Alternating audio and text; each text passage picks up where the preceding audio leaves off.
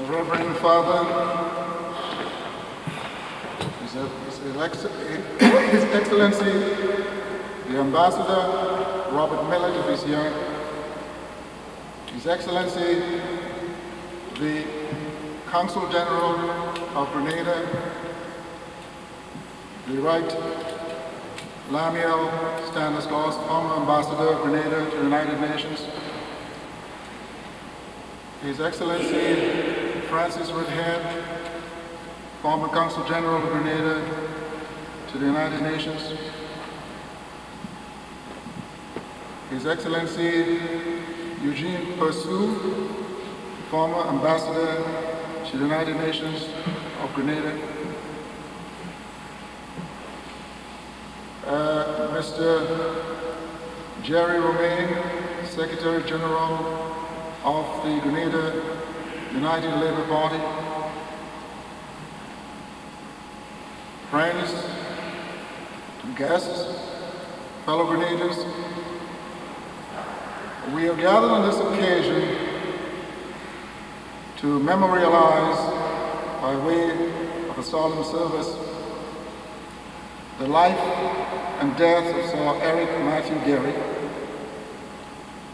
the first Prime Minister of Grenada and sometimes lovingly described as the founder of our nation, Grenada, Martinique, and Carriacou, who lived among us for 75 years or thereabouts,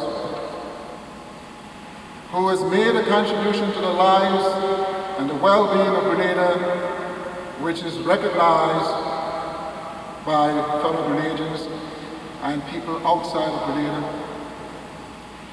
Eric Gairy has touched the life of each and every one of us here, and yet of generation to come.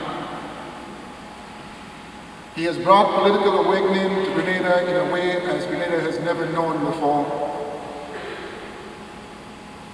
He has made uh, fellow Grenadians conscious of their rights under democracy,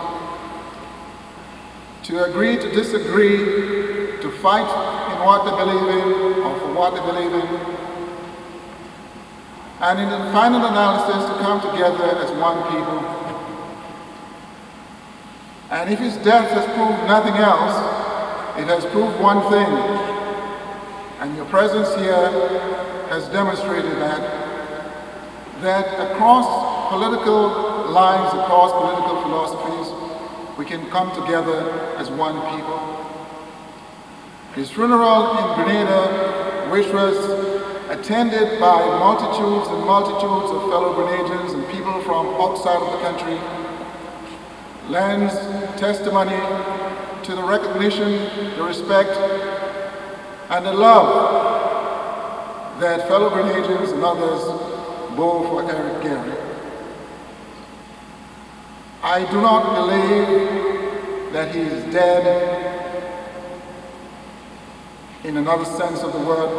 Apart from the physical flesh that is gone, he's still alive among us and will continue to be alive. He has inspired many a Grenadian to better way of life for themselves and for their families. He has touched the lives of Grenadians from a social point of view, from an economic point of view, and to say nothing of the political. From a social point of view, Eric Gairy has leveled the plane in Grenada and has made indistinguishable the lives of fellow Grenadians as to whether they are landowners, shop owners, or proprietors of any kind. During his life and times, Grenadians were not distinguished in that way. They held their places as members in equality in a society that was ours. And for that, I believe we owe him a debt of gratitude.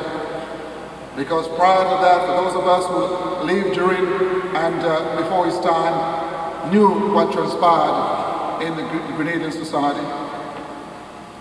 He has brought us some measure of economic well-being in that prior to his time, I need not tell you, the Grenadians worked for slavish wages. He has tried to equalize the interests of Grenadians in their own country by way of land distribution, which may or may not have had the desired effects. But nevertheless, he was well-meaning. This is a time in the life of each and every one of us as Grenadians, or members of society, when we might, because of him, come together, bury our differences, political and otherwise, and say to ourselves, that we should march forward in common unity for the good and benefit of all Grenadians. And so, fellow Grenadians, we remember Eric Gairy, and we ask of God that he should give him his just rewards and that he should forgive him for whatever sins he might have committed. And we ask of you that you continue to remember him for what he was and to be inspired by the good things which he disseminated among us.